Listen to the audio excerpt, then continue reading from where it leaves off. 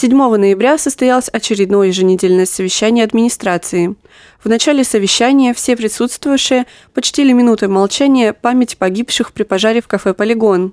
По официальным сводкам межмуниципального отдела МВД России «Буйский» за прошедшую неделю зарегистрировано 165 сообщений. Из них 19 краж, 11 мошенничеств, 5 нанесений телесных повреждений, 7 ДТП, 6 некриминальных смертей. По административной практике зарегистрировано 201 сообщение, из них по линии ГИБДД 110, 30 фактов появления в общественном месте в состоянии опьянения и распития, 25 случаев за неуплату административного штрафа. Как отметил директор Буйской ЦРБ Игорь Нефедов, заболеваемость в городе Буй за предыдущую неделю снизилась на 50% и составила 81 первичный случай. Прививочная кампания против коронавирусной инфекции продолжается двумя способами – обычным и интраназальным.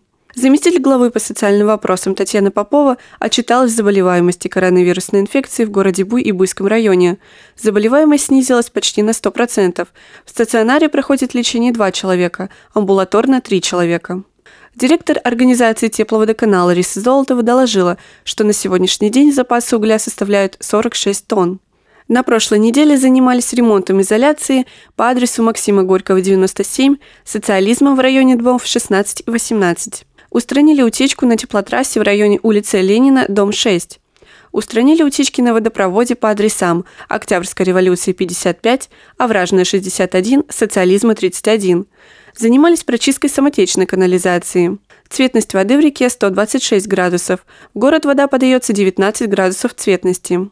Директор предприятия «Дорожник» Роман Косарев отчитался в проделанной работе за прошедшую неделю. Занимались уборкой мусора вдоль дорог и тротуаров, автобусных остановок, выполнен демонтаж понтонного моста, занимались мелким ремонтом дорожных знаков, провели механизированную уборку тротуаров. Директор предприятия «Спецкомсервис» Дмитрий Хазов отчитался в проделанной работе за предыдущую неделю – занимались заготовкой дров в бане, осуществили ремонт печи в бане в поселке Салама, завершили ремонт колодца по улице 11 годовщины октября 47. Генеральный директор организации ООО АТП города Буй Николай Мельченко доложил, что за прошедшую неделю срывов и сходов автобусного движения по городу не было. От пассажиров поступило две жалобы от жительниц города по теме перевозки детей.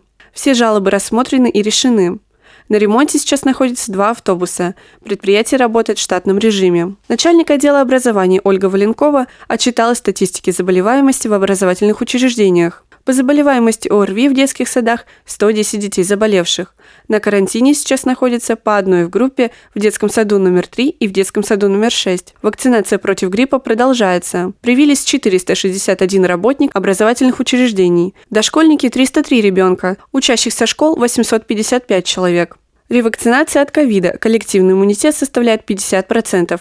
255 привитых. По теме мероприятий. До 20 ноября проходит Всероссийская Олимпиада безопасной дороги. С 11 ноября начинается муниципальный этап Всероссийской Олимпиады школьников по всем образовательным предметам.